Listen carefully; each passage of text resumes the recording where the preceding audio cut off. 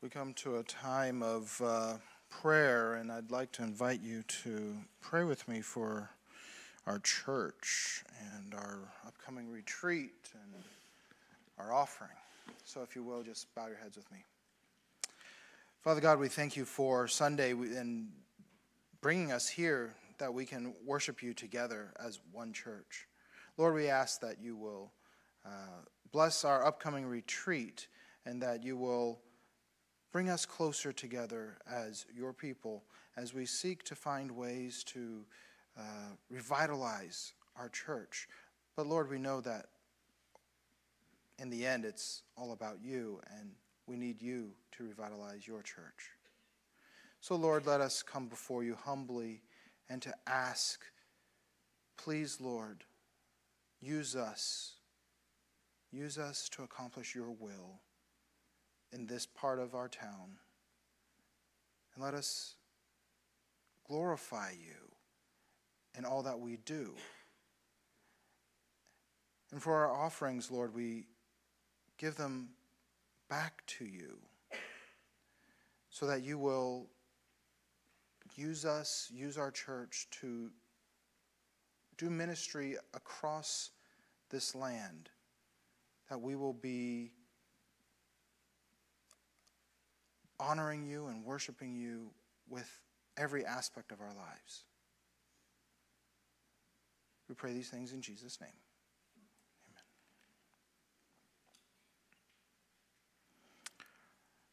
Amen. Do you ever feel like you've been waiting on God for a long time? Maybe you were given a sense that God promised you something, but it has not yet come. Perhaps you've been praying for God to work in someone dear's life, but it's been years, decades, and that person still doesn't know God. It's difficult to hold on to our faith in God when we don't see immediate results. Returning to the Old Testament book of Joshua, we look again at the purpose of this text. And we have to remember that history keeping for ancient writers was not so much about simply recording the events themselves, but rather to document the effects of what the gods were doing. So the Bible is a document of the effects of what the God was doing, the one true God. Joshua and the Israelites had by and large conquered the promised land up to chapter 12. But in Joshua 13, verse 1, it tells us that there are still, uh, there remains yet very much land to possess. There was still land to possess, it was not completely done yet. But the Lord continues that while this may be the case, and, and that he will drive out the people, God commands Joshua at this point to go ahead and allot the land of Israel for an inheritance. So it is that the Lord gave each tribe their land allotments even before being completely cleared out. If it were anyone else, we might think of them as optimistic or even prophetic. But with God, it is a guarantee of a promise that will be fulfilled. This is the kind of God that the one true God is. He makes promises that he absolutely keeps because he does not lie nor deceive. He also allows humans, his creatures, to participate in what he's doing. The Lord God was using the Israelites to clear out the land of Canaan to establish Israel. Exactly how each parcel of land was divided was also uh, determined by Moses and Joshua rather than God saying exactly this is the line. The humans had a part to play in figuring that out. This shows that God allows humans to take a part in making decisions. But we also see that Joshua did as he was told by God. Everything was starting to come into view, but it was still coming in God's timing. Speaking of God's timing, it'd be a good time to mute your phones Yeah. If somebody wants to call in, you just quietly slide yes and you let them listen in to the sermon. Okay? Just But the rest of us don't need to know that the conversation started. Faith is to trust in God in all circumstances. The Lord is faithful to those who trust in him. Let's turn to Joshua chapter 14 as we see what is going on in the story of Israel. Joshua chapter 14 starts with this These are the inheritances that the people of Israel received in the land of Canaan, which Eleazar the priest and Joshua the son of Nun and the heads of the fathers' houses of the tribes of the people of Israel gave them to inherit. Their inheritance was by lot, just as the Lord had commanded by the hand of Moses for the nine and a one half tribes. For Moses had given an inheritance to the two and one half tribes beyond the Jordan, but to the Levites he gave no inheritance among them. For the people of Joseph were two tribes, Manasseh and Ephraim.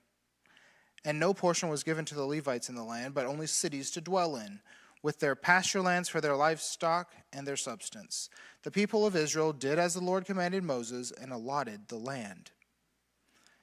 Then the people of Judah came to Joshua at Gilgal and Caleb, the son of Jephunneh, eh, the Kenizzite, said to him, You know what the Lord said to Moses, the man of God, in Kadesh Barnea concerning you and me. I was 40 years old when Moses, the servant of the Lord, sent me from Kadesh Barnea to spy out the land, and I brought him word again as it was in my heart. But my brothers who went up with me made the heart of the people melt Yet I wholly followed the Lord my God. And Moses swore on that day, saying, Surely the land on which your, your foot has trodden shall be an inheritance for you and your children forever, because you have wholly followed the Lord my God. And now, behold, the Lord has kept me alive, just as he said, these 45 years since the time that the Lord spoke this word to Moses, while Israel walked in the wilderness. And now, behold, I am this day 85 years old. I am still as strong today as I was in the day that Moses sent me. My strength now is uh, my strength now is as my strength was then, for war and for going and coming. So now give me this hill country for which the Lord spoke on that day, for you you heard on that day how the Anakim were there, with great fortified cities. It may be that the Lord will be with me, and I shall drive them out just as the Lord said. Then Joshua blessed him, and gave, he gave Hebron to Caleb the son of Jephunneh for an inheritance. Therefore, Hebron became the inheritance of Caleb the son of Jephunneh the Kenizzite to this day, because he wholly followed the Lord, the God of Israel. Now, the name of the Hebron, the name of Hebron formerly was Kiriath Arba. Arba was the greatest man among the Anakim, and the land had rest from war. Again, Faith is to trust in God in all circumstances. The Lord is faithful to those who trust in him. We get to go through an interesting story today, and it's the story of Caleb and his faith. A lot of kids are named Caleb, and we don't seem to go back to the story too much and think too much about what all did Caleb do. Today we shall see. Caleb had a particular memory. He remembered God's promise. He was one of two spies, the other being Joshua himself, who trusted in God's promise. He comes before Joshua in this chapter and recounts his personal history in regards to his inheritance this thing that he's been waiting on. In Numbers 13, not Joshua 13, Numbers 13, we find this story in the records, the annals of the people of Israel. Moses sent Caleb from Judah and Joshua from Ephraim, along with 10 others, 10 other spies, one from each tribe, to spy out the land of Canaan. They were sent to see if the land was good What was the produce like? In fact, bring some produce back if possible. See if it's indeed the land of milk and honey. Also, go check out what the people are like. Check out the cities, or if they are in just tents, or if they're in what, what, what's the situation? How are they living there? What are the fortifications like? What are the people like? Because we know when we get there, we're going to have to fight them.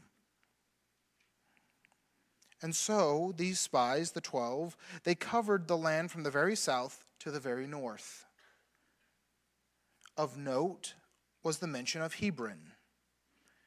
In Numbers 13, it's even noted that it was built seven years before Zoan in Egypt. While the ten other spies had noted that the land was indeed good, the cities, they said, were indeed fortified. They also noted that the Canaanites were strong. How did Caleb respond? His simple response was this Let us go up at once and occupy it, for we are well able to overcome it. What an attitude that he had. The ten other spies thought otherwise and discouraged the Israelites by talking about the Nephilim, the, the sons of Anak, being there. They used these words Nephilim, the sons of Anak. This caused the people of Israel to grumble against Moses and Aaron. We see this in Numbers 14. And they even suggested choosing a leader to lead them back to Egypt. Let's go back to slavery. That would be better. What kind of mindset was this? The rejection of God and his leadership was on full display.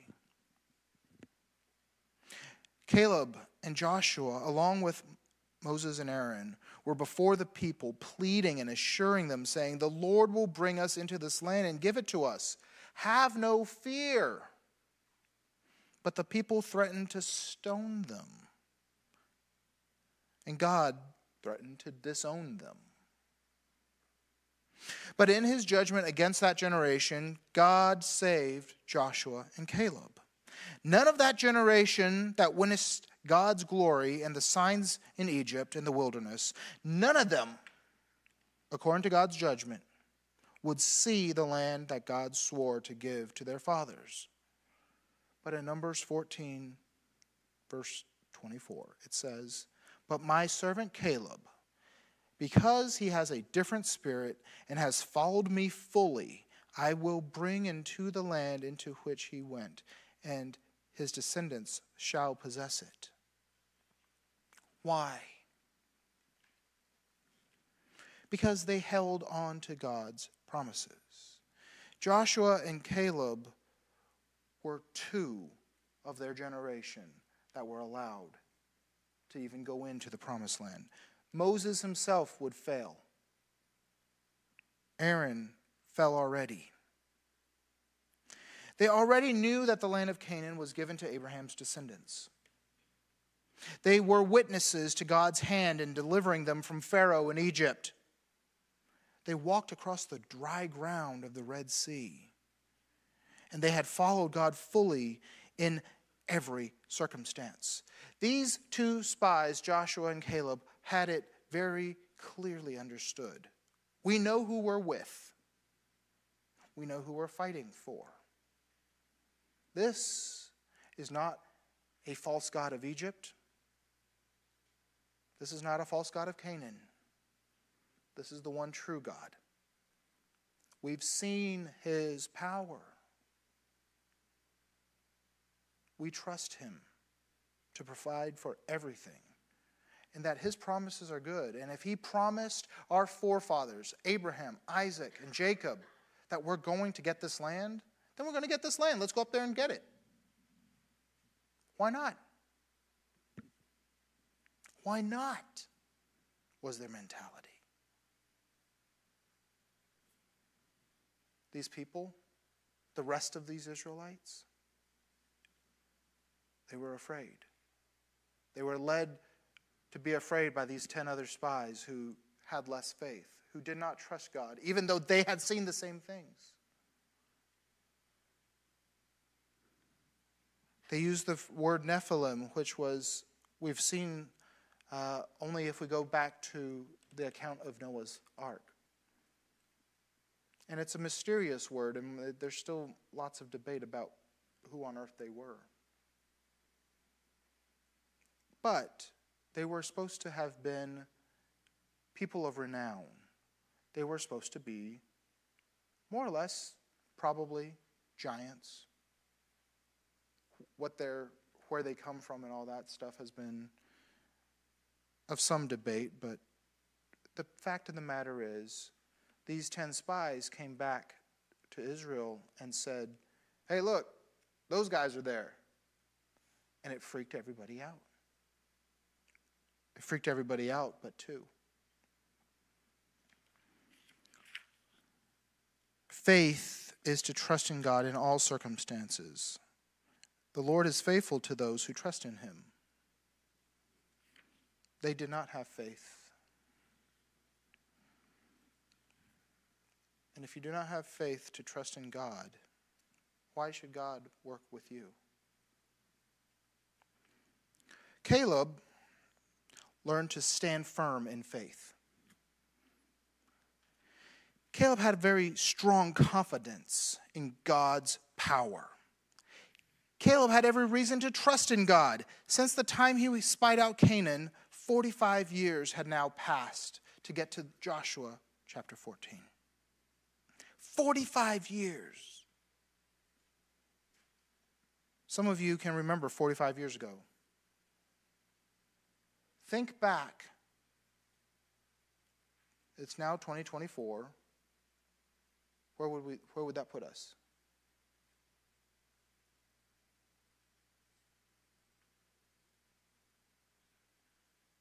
Seventy-nine. Okay, not everybody in this room can remember 19, 1979. But some of you can. And you can probably figure out, you know, it, it's late April 1979. Where were you? You may not remember the exact day, but you remember kind of what happened that year, maybe? You have some markers in your, your, your, your memory. That's how far back Caleb was thinking. And since he had been a part of God's campaign in conquering the promised land since then, more recent memories told him other things. So he remembered all the way back and said, okay, that was a while ago, and we saw Pharaoh. I remember being enslaved. Yep. Mm-hmm. That part was crummy. I was 40 years old, and my back had, you know, probably a few cuts and lashes and whatnot. Um, I remember the 10 plagues, yes, but they're distant memories now. A little bit distant, yeah? But I, come on, if you had gone through the 10 plagues, would you remember? Those are some pretty serious things, right? Remember the Passover with the lamb and everything? That was something that they would commemorate every year. Then after that, you get to the Red Sea and you're panicking because there's the sea in front of you and there's Pharaoh's army behind you, and God dries up the seabed so that you can walk across dry ground. It does not say muddy ground, it does not say slop, it does not say swamp, it's not Louisiana, it's dry ground. You crossed over and then the sea came in after it and wiped out Pharaoh's army. These are the things I remember far back there. And since then, what have I seen? Caleb has seen the crossing of the Jordan at Gilgal and how Jericho was conquered by God's hand when they all they did was walk around it a bunch of times. They didn't even lift a finger. They just walked. These are much more recent memories. About five years ago, because they had spent time in the wilderness for 40 years, and then they entered into the promised land and had been conquering. And now that he's talking about the number of years, it's, been, it's at 45. It's been five years since those things happened. Five years is a lot easier to remember. and it confirms what he saw 45 years ago. He saw the subsequent conquests from king to king to king as they went around conquering city to city. Caleb had seen it all. And I imagine as the other uh, as the only other person over 45 as Joshua, uh, Caleb understood God's power. Do you understand there was this weird dynamic in this community where everybody was younger than 40? Or 45, since there's five, five more years here. Everybody was younger than 45, otherwise, they died in the wilderness, except two guys. A little bit of a weird dynamic. You're either 85 or you're under 45.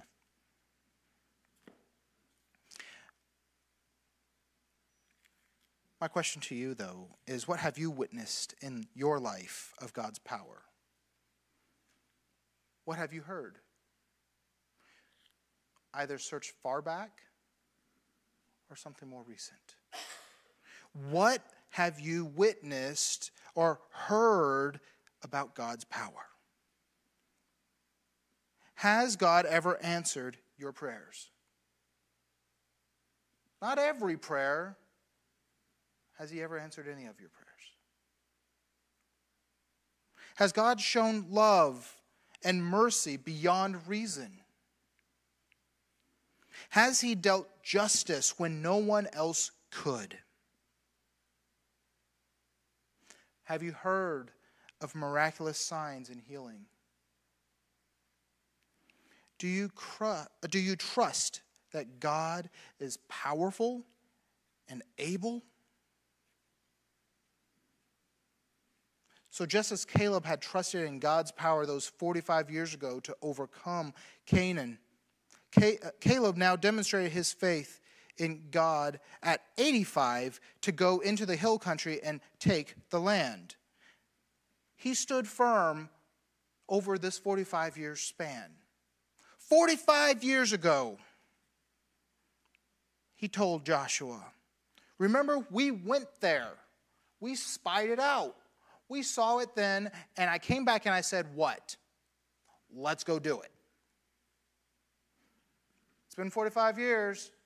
Remember that piece of land over there where we got the fortified, fortified cities in the hill country inhabited, inhabited by, at this point, it says Anakim, which is the Hebrew short form of the sons of Anak. Remember that group of people, the giants that everybody's afraid of, that let, kept us out there for 40 years?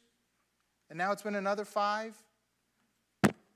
I'm strong today like I was back then. I'm ready for it. What I said back then goes for me today. Let's go get it. Give it to me and I'll go get it. 45 years. Same firm faith. He was firm in his belief in God's presence and that God would drive those people out. He had the same faith at 85 that he had at 40, which he had developed from the time before. How long has it been for you to wait on the Lord's timing? Have you held on and stood firm in your faith in God? Maybe it's been a while. Maybe it's been a few decades. Do you trust God? Imagine the waiting that Caleb had done. 40 years of wandering around the wilderness because his people were faithless. Not his own fault. He was ready to go. But he went with his people and waited. 40 years he waited for the people to die out as was their God given punishment. All your friends, all your relatives that you knew of your generation, every one of them, except Joshua, watching them die, mourning their, their deaths, not going, nah, nah, I told you so, but mourning them, I'm sure. 40 years he raised his own children and others to trust in God when the time came. And when 40 years were done, five more were added to the time of the conquest. Five more years of getting to this point of divvying up the land for inheritance. Caleb trusted in God's promise, in God's ability, his power to fulfill his promise. And so Caleb continued to choose to follow God wherever he may go. How much more should we, with the knowledge of all of this history and so much more, we get the benefit of all of this. We even get to see where Jesus comes. We see the testimonies of so many more of God's servants and their witnesses of God's power. Should we not stand firmly in faith to trust God no matter the circumstance that we're in? Faith is to trust in God in all circumstances. The Lord is faithful to those who trust in him. Caleb came to claim the mountain. And in claiming the mountain, he petitioned, he gave his request for God's inheritance. Caleb came to Joshua, God's chosen leader of the people at this time, to divvy up the land. And he makes the request for Hebron, located in the hill country. Notice what he says. He says, I am old. I'm 85, but I'm still as strong today as I was then. God has given me strength enough to still go today and take that land.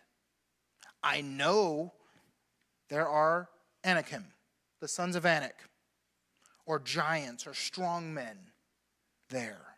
And so I'll have to fight. That's okay. I know whose side I'm on. As God has promised to give me that land, I am still willing to go and take it with God's blessing. None of his speech suggests that he plans on doing it against God's will. In fact, if we went back to Numbers 14, we'll see that the people of Israel, after being admonished by God, tried to go and take Canaan. And they were beaten back so badly that they had to come, the few that survived came crawling back to Moses in the wilderness and said, Fine.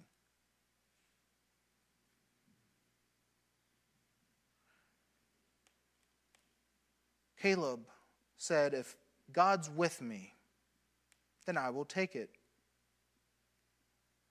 Caleb had no doubt in the Lord. He remembered God's promises, and he was confident in God's power. So he moved forward in sure faith to receive what God wanted to give him. Now, Caleb had not asked for the flatlands by the sea to retire. Some of us might choose that, right? We might said, "Hey, look, if you're going to get, divvy out the land, and this land's got mountains and it's got ocean uh, or, or the Mediterranean Sea and all this stuff, you might choose the Mediterranean Sea, huh? And just chill out there in a nice little, I don't know. It's the Mediterranean. I mean, seems pretty cool, right? No. He asked for Hebron. You know that hill country with the fortified city with the giants that everybody was afraid of and it made us that's why we've been delayed by 45 years? That place that's where i want to go. Give me that. Now in numbers 13 we see that hebron had been mentioned as being built seven years before zoan in egypt. And we got to kind of figure out what the significance is of hebron the Cultural Background Study Bible explains that Hebron was located somewhere between 20 and 25 miles south of Jerusalem in the central hill country. It must have been a prominent city at this time, even in Numbers 13, meaning the 45 years prior, when Moses was still the leader and they had just approached Canaan and had not been turned back towards the wilderness yet. It must have been a prominent city because its comparison here is with the Egyptian stronghold of Zoan, which would have been a reference point that these Israelites who had just left Egypt would have known. They know what Zoan is. Hebron is said to have been fortified seven years before Zoan. So it's the predecessor. It, it was already fortified, meaning it had walls, meaning it was protected. Its people were defined. The descendants of Anak were noted for being there. They were regarded as giants, and an Egyptian letter from the 13th century BC describes warriors being of nine feet tall. That's pretty big.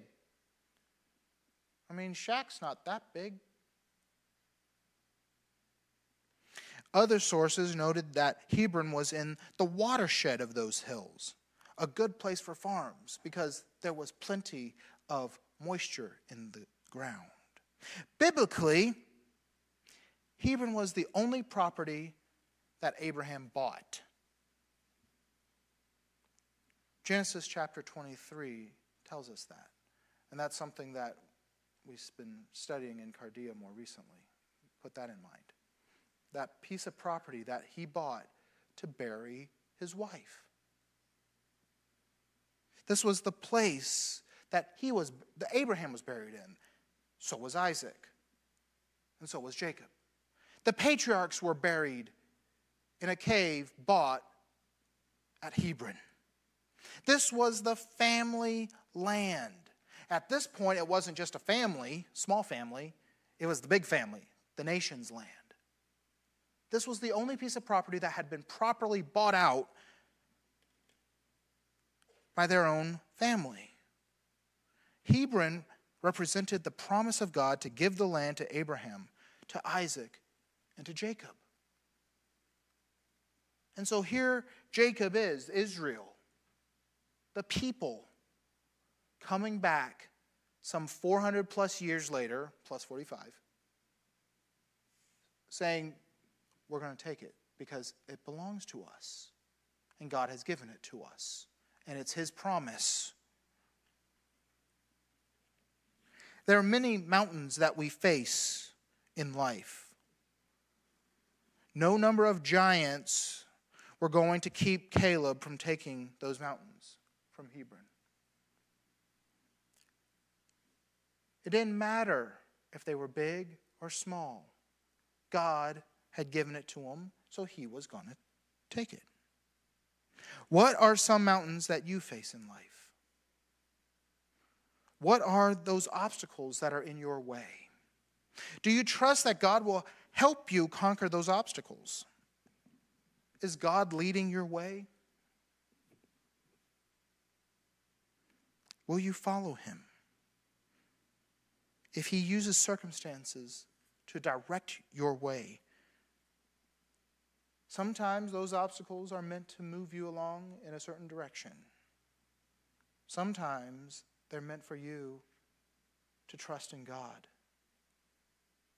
Does He want you to turn or does He want you to go through?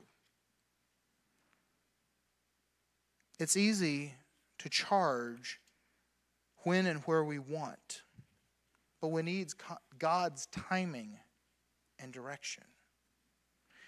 Faith is to trust in God in all circumstances.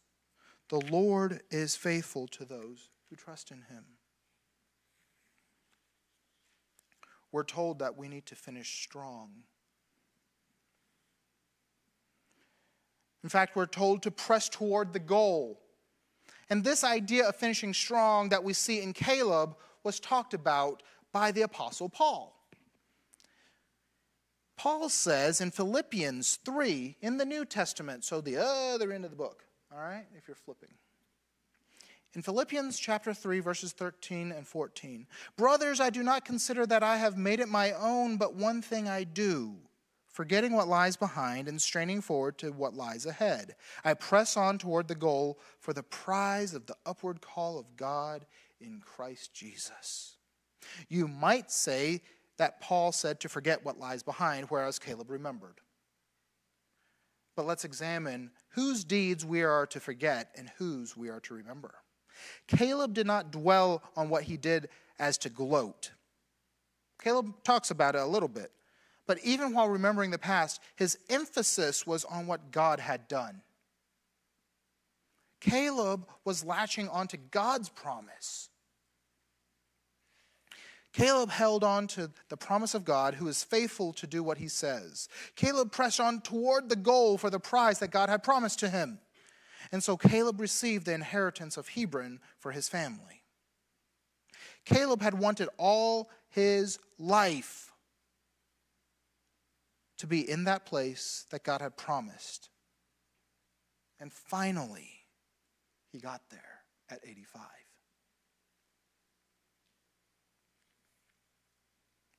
What is your prize? The Apostle Paul lays out that our prize is the upward call of God in Christ Jesus. While indeed an athlete's prize is received by coming up to the podium, and Paul was using this motif of running a race and having this Olympic idea of having to step up to receive your prize. Paul clearly here identifies that the believer's prize is being called up heavenward to God's presence. Is this the prize that you are striving for? Hmm? Is this what you're looking for? Or have you lost sight of our heavenly reward and begun seeking the things of this world? Have you forgotten the promise of God who gave his Son to redeem you from sin? Are you so distracted by the challenges of this world, the cities, and the giants? Is your faith in this world or is it in the Lord? Learn from Caleb and remember how God has brought you through challenges. Remember your Egypt. Remember your Pharaoh. Remember your Red Sea. Remember your Jordan. Remember your Jericho. Remember, then stand firm in your faith and claim God as your prize. Do you want to be where God wants you? Have faith Trust God in every circumstance. Your prize is to be with Him in eternity. God has promised to give, to, to bring us into His presence as our final inheritance. Our inheritance isn't a piece of land in Palestine. Our inheritance is Jesus himself. And if we are with God, the Creator, then is not everything our inheritance.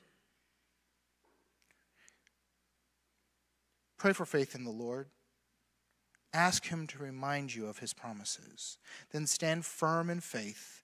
Believe that God is able to fulfill His will. Pray for courage to claim the mountains in life. Trust God to help you conquer difficulties.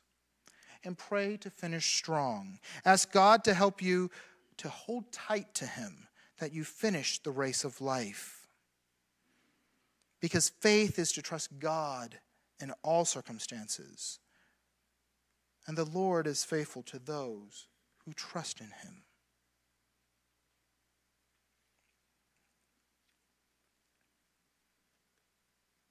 We need to come to faith in Jesus.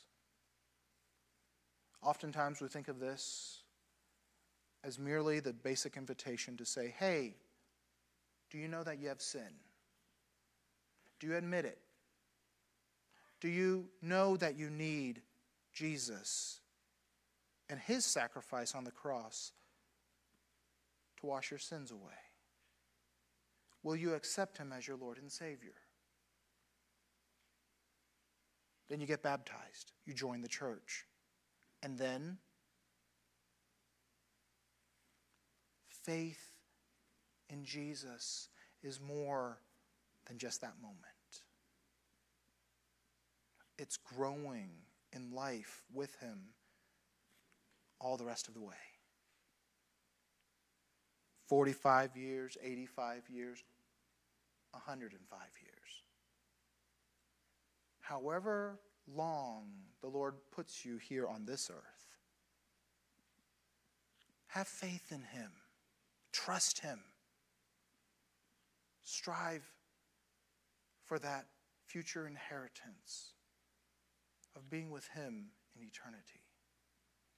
Let's pray. Lord, we thank you for ultimately your sacrifice on the cross to bring us salvation not just in a moment, but for eternity. Lord, you promise eternal life, and you have not broken a promise from the beginning of time. So we know that the promise of eternal life is true.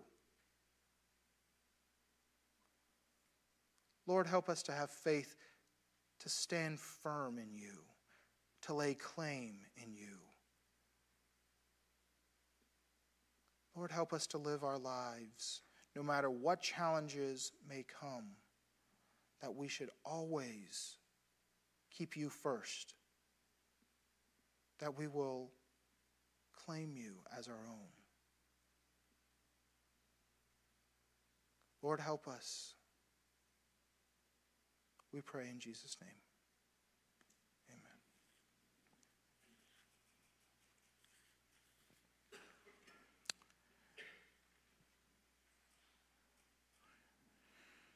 Well, this would be a nice time to uh, welcome everyone to church, and if you want to turn on your phones again, I suppose you could, but. Um,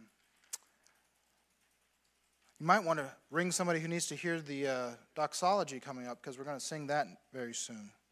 Um, but let's, uh, I, I, just want to welcome everybody. And some of you didn't get here earlier, so let's say we stand up and uh, shake three hands. Just three. But if you already shook their hand, if you were here earlier and you shook their hand earlier, they, they don't count. Three new hands.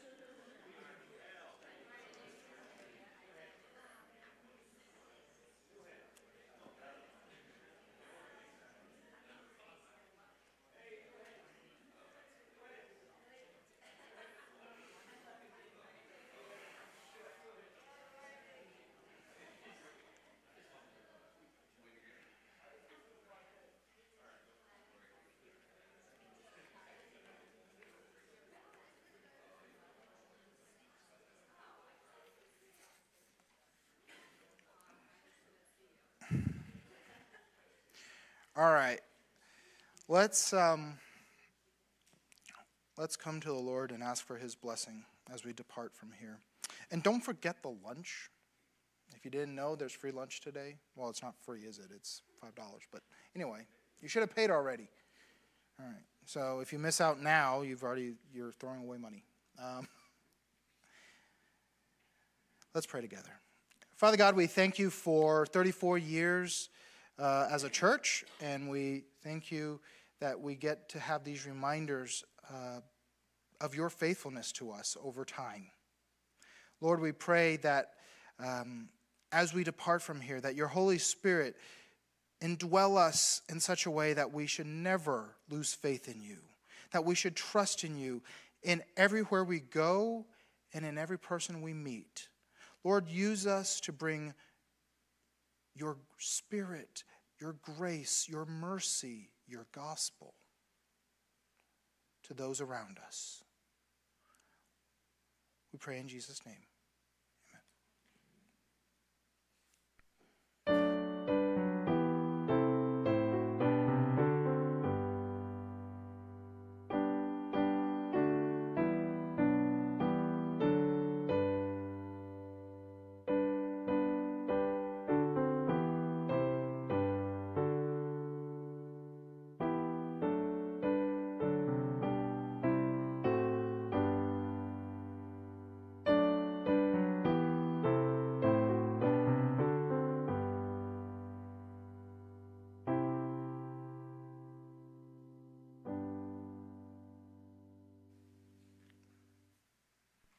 We'll see you in the welcome room.